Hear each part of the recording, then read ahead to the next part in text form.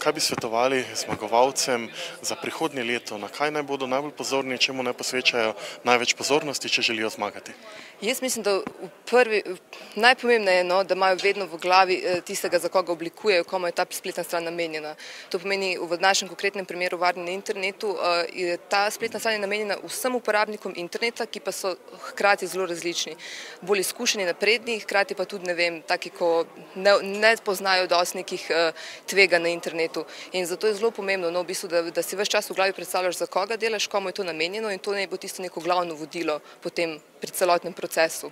Kakršen koli produkt ali pa storitev podjetje eh, prodaja, eh, je dobro, da kupec na internetni strani o tem čim več informacij dobi, ker danes vsi smo pač vs, praktično vsi potrošniki smo na spletu in tam se največ informacij išče in to je prva točka, kjer je kupec uh, išče informacije. Ne. Ja, na podlagi izkušenj bi rekel, da je um, največ je treba poslušati uporabnike, pač poslušati njihove želje in v bistvu jim potem na koncu tudi to ponuditi, kar želijo. To je v bistvu čisto enostaven recept, uh, pa neprestano vlagati v razvoj in to je to. Jaz mislim, da spletna stran, ki ne bi zmagala, mora predvsem iskati inovativnost v uporabi možnosti, ki jih sam medij nudi. Druga stvar pa ta inovativnost oziroma izkoriščanje teh možnosti ne bi šlo v smer, da ima nek potencijalno obiskovalec od tega neko korist. Predvsem morajo verjeti v svojo idejo in upoštevati tudi uporabnike, se pravi poslušati njihove nasvete, ideje, spremljati statistike. Pač na spletu je to nekako nujna stvar, imamo vse zabeležen, vemo, kaj uporabniki radi uporabljajo, kaj ne.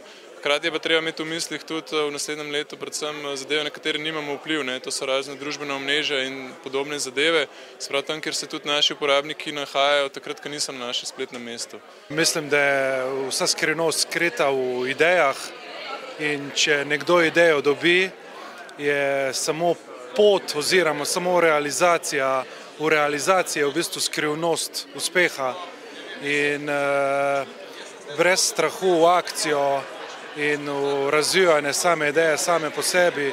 Sama pot te pripelje do naslednjega koraka in uh, upogumuje uspeh.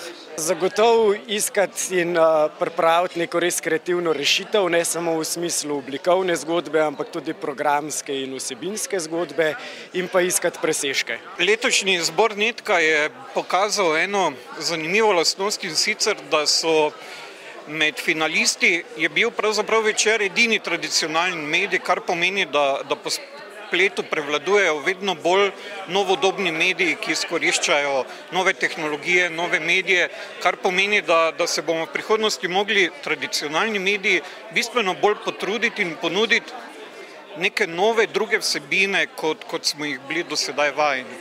Mi ponujemo tudi dodatne storitve, ne samo novice, kot standardne tekst, da lahko ljudje berejo, ampak tudi video imamo zraven, potem imamo križanke, berejo lahko naše elektronske knjige preko naše aplikacije in s tem dodajamo novicam dodatno vrednost, v bistvu dodatne možnosti bralcem.